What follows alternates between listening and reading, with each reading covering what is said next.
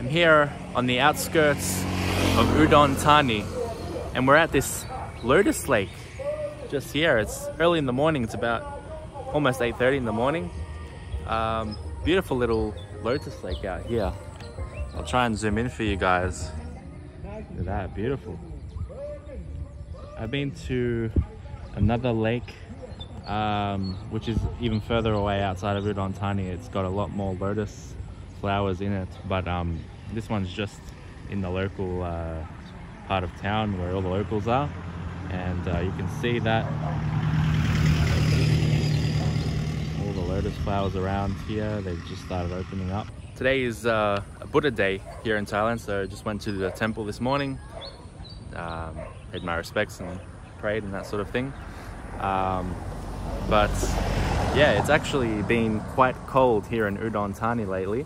Um, it's been around, this morning it was 20 degrees when I woke up, which is quite cold. It might not be that cold for some of you, but for Thailand, it is very, very cold in the morning. So it's a bit of a, a bit of a cold uh, sort of few days here in the mornings, but it's, it's, I've loved it, man. I've loved the, the break from the cold, but this is a nice little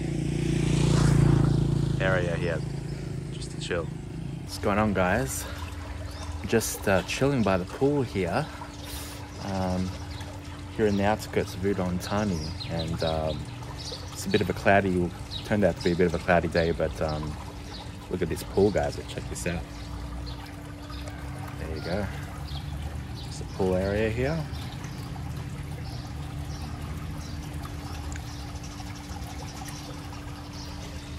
Uh, this isn't uh, the pool uh, where I'm staying uh, at the at the hotel, but um, this is uh, yeah it's a nice little area to chill. Udon Thani right now. Um, I just wanted to give you guys a bit of an update um, as to what's happening um, with Udon. Uh, I probably will be here another 10 or so days uh, I'd say towards the end of November I will be um, heading on elsewhere somewhere else.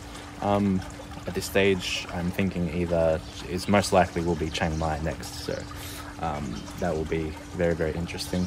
And I very much look forward to visiting Chiang Mai because a lot of people have told me about Chiang Mai. I've actually never been to Chiang Mai. And um, I'm very, very excited to go there because I've heard lots of amazing things about it. And um, yeah, I'm very much looking forward to going up there. Um, but yeah, that's probably where my next destina destination will be. But um, I will do a few more videos on Udon as well before that, so stay tuned for that. But uh, yeah, nothing too much going on. Address a few things um, because I do get this question asked quite a lot um, about, you know, um, about home. Like, do I miss Australia? You know, am I homesick? Do I ever get homesick? You know, when am I coming back? You know, I get this question a lot asked by my most of my family and friends. They ask me this. Um, a few of you guys are subscribers as well, but um, the general consensus that I that I get is that um, you know people that reached out to me they say you know every time I mention something about Australia and I say you know I don't know when my visa will finish here how long I can stay here in Thailand but um, yeah they just say stay there stay put where you are you know don't come back because it's such a such a mess right there now. And um, it's very very concerning what's happening and I don't want to make this into like a a rant sort of video or a political sort of video because you know you guys probably hear enough of that especially if you're in Australia right now. But um, it's very very concerning and disappointing to see what's happening over there. And um, it doesn't seem like uh, there's a lot of people starting to wake up to see what's happening but there's still a lot of people that just they don't really know the full scale of what's actually happening there right now. They, they just think that everything's seems to be normal which it really isn't it's just a, a, a bunch of things, you know. Um, I remember making a post on my uh, private Facebook account um, three or three months ago or something like that when I was hearing about these vaccine mandates and um, and uh, I thought, you know, they were, they, were, they were talking about it and at that time I thought, you know, hopefully they don't actually implement that. but um, yeah, it turns out they did. And um, especially, you know, if you want to go to a cafe, you want to go to a shop, if you want to pretty much have some sort of life, then you need to have double jab. And it's just absolutely beyond ridiculous. I'm sorry, I don't, I don't care what, what side of the fence you are on. Um, this shouldn't be something that's mandated, especially because I, know a lot of people who are coerced into taking this. I'm sure a lot of you guys who are watching me right now were probably coerced into taking this because otherwise you can't work, you can't survive and, and, and pay for your family. And it's just absolutely ridiculous. It is, it is beyond a joke right now. And I'm sorry, I, I have to vent this because it's been on my mind quite a lot. And um, I just, I, I it, it's really astonishing to see what's happening. And um, you know, we just passed uh, uh, Remembrance Day over there in Australia, you know, honouring our soldiers who fought for our freedoms for our country. And uh, there seems to be a portion of people that have just seemed to completely want to throw their freedoms out the window and are in support of these, uh, of our basic human freedoms that we used to take for granted, but we should always have them that are being taken away from us because we seemingly don't uh, have the double jab. It's just absolutely ridiculous. I, I, don't care what side of the fence you are on. I've just had enough. Like I've had enough, and and seeing this is really disgraceful. It really is disgraceful. Um, I just I just can't support that, and and I don't know what's happened to Australia, man. I really don't. It's just it's really really sad to see what's happening, and um, I I just don't see myself coming back there with with with all of this stuff going on right now. And yes, the country is opening up right now.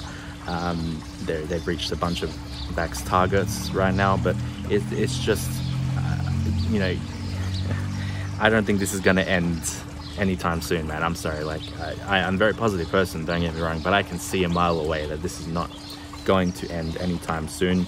Um, there's already talk about these booster shots being brought in as well, you know, every six months. I, I, of course that's going to happen, you know it's it's it's inevitable at this stage, and it, yeah. Anyway, I'm not gonna go into that too much, but um, uh, yeah, I'm just staying put where I am, guys, right now. When the time comes that I have to sort of make my decision to come there, and again, I I I, I um, can't really go there right now because I'm not double jabbed. If I can go there, but I have to pay three thousand for quarantine, and I'm not really uh, wanting to do that whatsoever. You know, it's, just I'd be an idiot to do that. Um, there were certain things, you know, coming through my mind like, do I get the jab? Do I don't get the jab? Um, but um, even if I wanted to, here right now, there was certain, a lot of places actually, I can't actually get the jab because there's certain age limits for foreigners here. I think they were doing it at 40 years and over in a lot of these places here in Thailand. I think they've just started um, just started offering the, the jab to, to uh, foreigners 18 plus now. So um, that may be a thing to consider. Again, I don't really want to take it. I, I, honestly don't. I am waiting actually for a particular jab that's coming, and I've done a lot of research, actually, believe it or not, um, into what I want to take. And I, I, still don't trust any of these jabs that are on offer at the moment. I, am sorry, I'm just being honest with you guys. I don't. I, I, you know that bad feeling you get in your stomach. That's the feeling that I get every time I have to think of taking one of these things that is um, offered right now, but I have been looking into it and there is a jab called Novavax. Now this one uh, has been a lot of talk as a traditional vaccine. Um, just had a band passing by with Thai music. but uh, yeah, this, this particular vaccine is a traditional one and they use the older technology which has been used in like the flu jabs and uh, hepatitis B jabs, those sort of jabs that are, have been around for a lot, a lot longer. So um, there's none of that really uh, mRNA technology in these ones as well. So I've done a lot of research and I actually had, again, you guys might think it's a little bit, a little bit crazy, but I had a dream, I think about a month or two ago, um, just with this word, like this word, and I never had heard of this word before, Novavax. It just appeared in my dream, like straight out, just this one word. I could see it clearly, and I actually didn't know what what that was at that time, but um, um, you know, it, it's just uh, I, I, did my research and I googled it, and, and then I found out what it was. It was a, a jab that hasn't been brought out yet, but it's being approved in slowly, slowly in some countries. I think it's already been approved in Indonesia, but it's slowly making its way around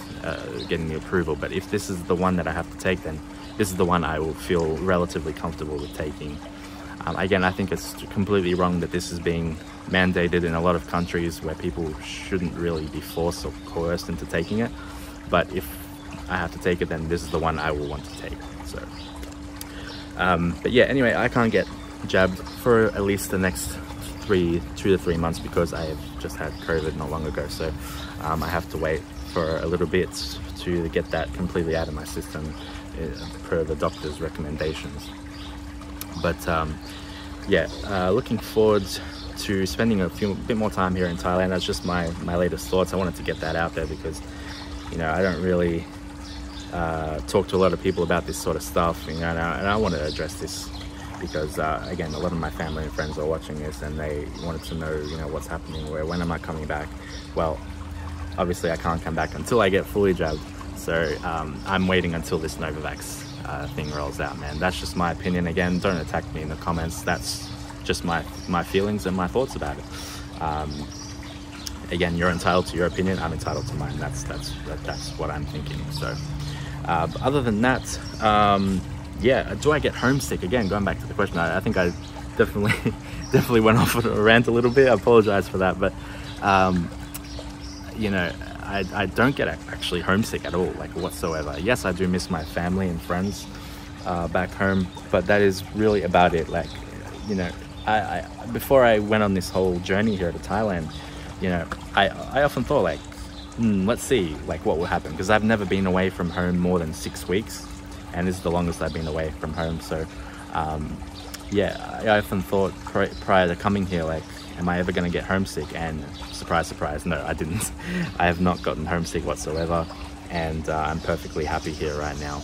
Um, and again, especially with what's going on over there in Australia right now, I could not be more happy to be away from that. So that is my thoughts, guys. But um, yeah, I'm gonna take a dip in this pool now. Sorry to go off on that little rant there, but uh, look at this amazing pool there. Oh man, beautiful.